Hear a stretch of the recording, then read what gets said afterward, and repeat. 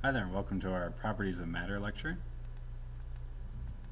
Our key ideas, why are color, volume, and density classified as physical properties, and why are flammability and reactivity classified as chemical properties.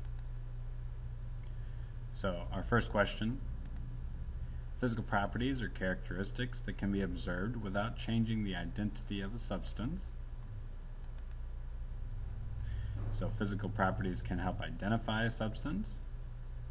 Physical properties can be observed or measured. So examples of physical properties include the shape of an object, the color, odor, texture, state of matter, so whether it's solid, liquid, or gas, the substance melting point, the boiling point, uh, its strength, its hardness, its magnetism, the ability to conduct electricity or heat are also physical properties. Uh, let me make a quick note. Melting point is just the temperature at which an object will melt. Boiling point is the temperature at which an object boils. So melting point, temperature and pressure at which a solid becomes a liquid. And boiling point, the temperature and pressure at which a liquid becomes a gas. So a little more detailed definitions there. And then we can use physical properties to help determine the uses of an object. So if we were to look at solids, liquid, liquids, and gases, uh, we've got some examples here. Here's a solid, here's a liquid in the middle, here's a gas at the bottom. If we look at those at a molecular level, typically uh, we're going to see solids having a definite shape and definite volume. So they're very fixed in their shape. A liquid does not have a definite shape, but it does have a definite volume. And then a gas has no definite shape, no definite volume. Just kind of define those uh, three really quick.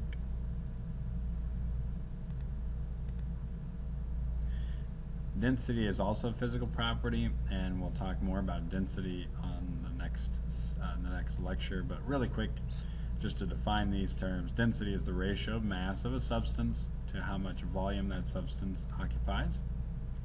And we use the formula density equals mass divided by volume. And commonly, the unit of density is grams per cubic centimeter. Uh, we also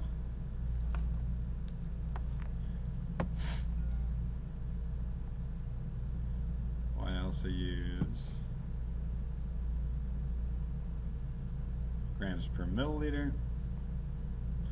Or we could do grams per cc which is also cubic centimeters. So uh, for water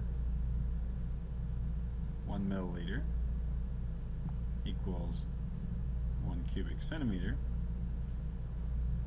which also equals 1 cc, which is also cubic centimeter.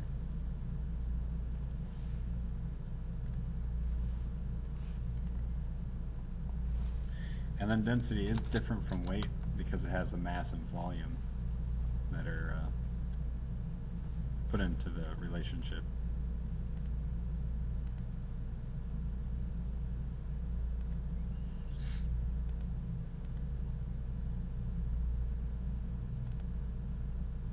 Alright, so looking at chemical properties, why are flammability and reactivity classified as chemical properties?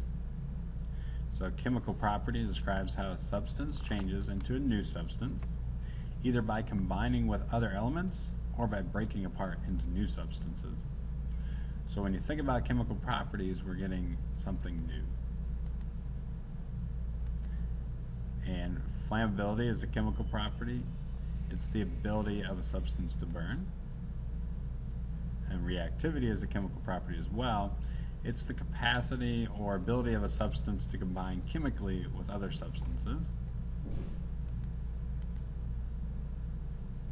And there is a difference between physical and chemical properties. Physical properties can be observed without changing the identity of a substance. So I can take a piece of paper and I can crumple it up. I can unfold it. It's still a piece of paper. But with chemical property, um, can only be observed in situations in which the identity of the substance changes. So I know from previous experience that paper will burn, but if I were to not know that it burns, I'd have to light that paper on fire to see that it does react the way it does with fire. And when we change it, we can't get the paper back, right? At least not by physical means. Um, in order to get the paper back, we'd have to take that ash and we'd have to use chemical means to get it back. Uh, some examples here physical properties, malleability of a nail, the ability to bend that nail. It's still a nail. Uh, yeah, it's bent, but we can still still use it as it is. Uh, putting red food coloring into some water, we just change the color of the water. We could separate this food coloring back out from the water. Chemical properties, uh, when this iron nail reacts with oxygen, it rusts. Um, yes, we can remove and clean the rust from the iron, but um, when rusting occurs, there is a change in the substance, so it's not exactly the same. And then if something were to react with bleach, uh, that reactivity with bleach would also be a chemical property. So, thanks for listening.